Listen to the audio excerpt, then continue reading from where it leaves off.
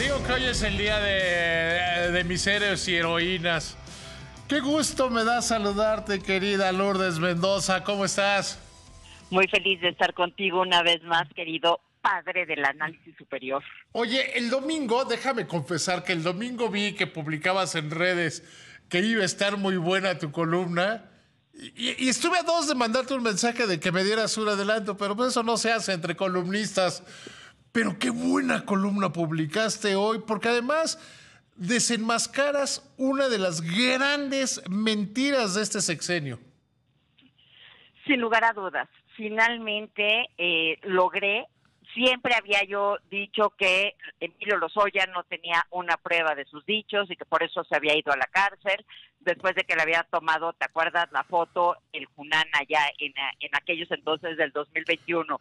Sin embargo, después de que la Fiscalía de la General de la República lo acusa formalmente a él y a, su, y a su familia de ser los únicos beneficiarios del dinero de Odebrecht, yo puse la denuncia pertinente por falsedad en declaraciones. Esta denuncia es penal.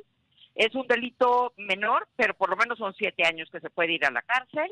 Y, este, y finalmente compareció y finalmente él solito declaró y ratificó ante la Fiscalía de la Ciudad de México que pues que todo lo que dijo es mentira. Increíble, pero cierto. Sí, no, no, no, o sea, lo que hoy publicas es, dijo que todo lo que había dicho era mentira. Así es.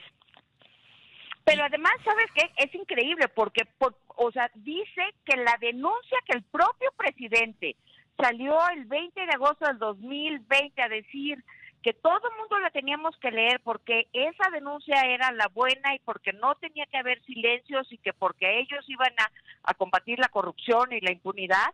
Bueno, pues Emilio Lozoya dice que esa denuncia, la que se filtró, está este, modificada. Y yo te pregunto, David, ¿y quién la modificó?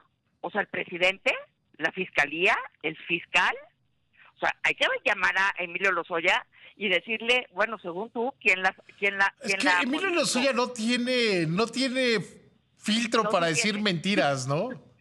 No, exacto. Yo pensé que ibas a decir progenitora y sí, sí tiene. No, no, no, acabó pues, en la tiene en la, la tiene en la cárcel, ¿no? La tiene con, con arraigo domiciliario primero y luego ya le pusieron brazalete, pero tiene que salir con un, un policía que vaya atrás de ella. Entonces, pues sí es de penita ajena. Pero ojo, dice además, y eso es ya pelearse directo con el fiscal, porque dijo que la denuncia que hizo con el MP de, la, de este cuando vino a declarar el 11 de agosto del 2020 dice que esa tampoco vale que porque como no le pusieron un abogado tampoco vale. Entonces, lo que sí vale es, si le hubieran dado el criterio de oportunidad, decir mentiras vale la pena. No le dieron el criterio de oportunidad y entonces hoy dice, pues yo me, los filters para atrás, no me importa lo que hayan sufrido los 17 que yo difamé y ahora yo Que me... hay gente en la cárcel por sus mentiras. Debería de estar en la cárcel. No, no, no, hay gente en la cárcel. Hoy, hoy hay gente en la cárcel por sus mentiras. Mira, por lo menos Carlos Treviño, el último director general de Pemex, él está huido por las mentiras de Emilio Lozoya. Eh, este Jorge Luis Lavalle, el ex senador por Campeche, él estuvo año y medio en la cárcel por las mentiras de Lozoya y ahorita sigue con brazalete y no vas a creer qué sucedió.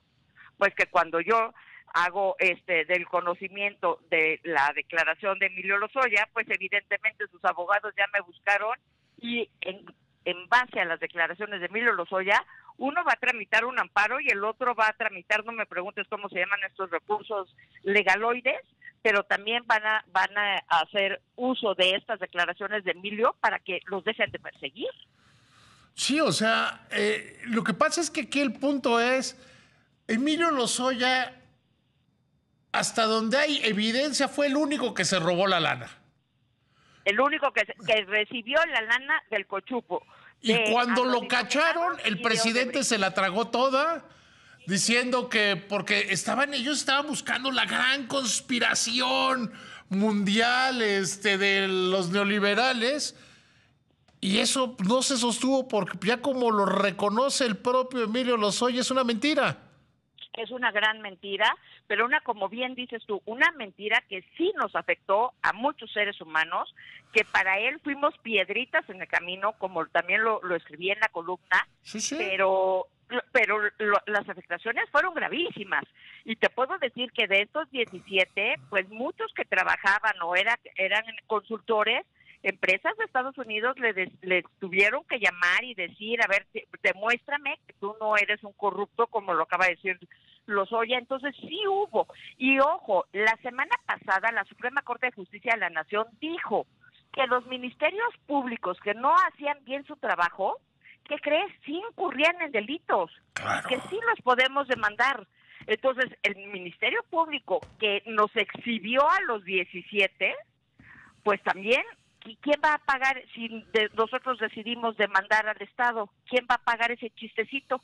Sí, sí, o sea, con, con más carga, con más carga al, erario. Yo creo que en el balance, o sea, para ti ha sido una joda todos estos años, pero en el balance te ha servido demostrar que eres tan grande, tan fuerte y tan buen periodista, ¿eh? Te lo agradezco enormemente y sí, o sea, si yo, o sea, yo dije yo voy a demostrar que esto es una difamación y no voy a parar y ve cómo hasta dónde he llegado, sí, sin duda.